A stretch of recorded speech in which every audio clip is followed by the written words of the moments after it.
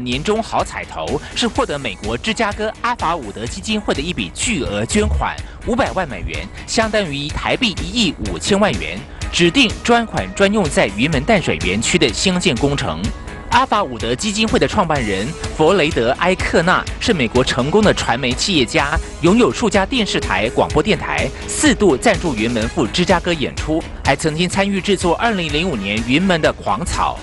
阿法伍德基金会最为世人津津乐道是去年捐出了英镑两千万元，相当台币十亿元，给母校伦敦大学亚非学院，创该校纪录。而原本位于护尾炮台的淡水教育中心，过去是对大陆新站的中央广播电台旧址。二零零八年，新北市允诺云门使用四十年。这个地方，我想当年是工兵建的，非常的扎实，就它可以很多的发展的可能性。有了一亿五千万元的挹注之后，排练场、办公室、四百个座位的小剧场，还有容纳两千人的户外广场，都将更为精致。目前主体建物已经完工，预计今年底全部竣工，二零一五年春天展开营运。